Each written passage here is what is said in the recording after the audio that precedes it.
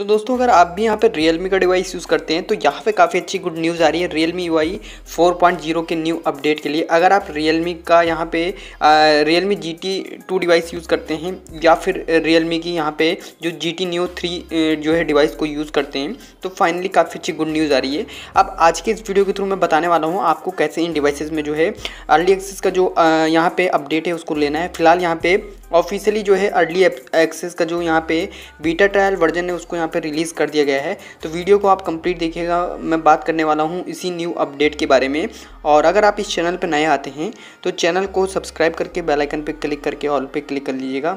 ताकि फ्यूचर में जब भी हम वीडियो अपलोड करें तो उसका नोटिफिकेशन आपको हमारे वीडियो अपलोड करते ही मिल जाए। साथ में डिस्क्रिप्शन बॉक्स में सोशल साइट्स के लिंक प्रोवाइड है, उनको ज़रूर से फॉलो कर लीजिएगा। सो अगर आप यहाँ पर रियलमी का जो है डिवाइस यूज़ करते हैं और आप बीटा ट्रायल वर्जन के लिए वेट कर रहे हैं तो यहाँ पर finally Realme G T Neo three use कर रहे हैं या फिर Realme G T two five G device को यूज़ कर रहे हैं तो दोनों ही दोनों ही डिवाइस के लिए यहाँ पे जो बीटा अर्ली एक्सेस जो यहाँ पे जो है वर्जन है, उसको यहाँ पे रिलीज़ कर दिया गया है। अब देखिए, मैं सबसे पहले इन्फॉर्मेशन जो है दिखा देता हूँ। सबसे पहले मैं आपको दिखाता हूँ Realme G T Neo three के बारे में। मतलब आप थ्री यूज़ करते हैं मतलब यहाँ पर नॉर्मल वेरियंट या फिर आप 150 वाट का जो डिवाइस है, उसको आप यूज़ करते हैं। तो दोनों ही डिवाइस में यहाँ पे जो एंड्रॉयड 13 का जो मेजर अपडेट है, वो यहाँ पे रोल आउट होना स्टार्ट हो चुका है। फ़िलहाल आप मेरी होम स्क्रीन पे देख सकते हैं, ठीक है? एंड्रॉयड 13 जो अर्ली एक्सेस मतलब अर्ली एक्सेस का यहाँ पे जो वर्जन है, वो रोल आउट होना स्टार्ट हो गया है। अब मैं इसके लिए एलिजिबिलिटी क्राइटेरिया आपको बताता हूँ, क्या क्या है।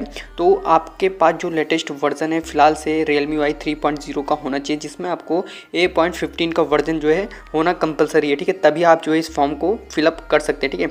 तो आपको सेटिंग में चले जाना है सॉफ्टवेयर अपडेट में चले जाना है ट्रायल वर्जन में चले जाना है, जो कि प्रोसेस आप देख सकते हो होम स्क्रीन पे आपको दिख रहा होगा, ठीक है?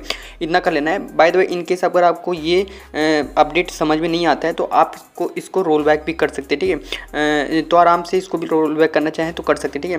फ़िलहाल जो है, आप देख सकते हैं एंड्रॉयड थर्टीन का जो अर्ली एक्सेस है, यहाँ पे जो है अपडेट को रोल आउट कर दिया गया है, ठीक है? अब चलिए हम बात कर लेते हैं रियलमी की दूसरी डिवाइस के बारे में, जो कि है Realme G T two five G ठीक है?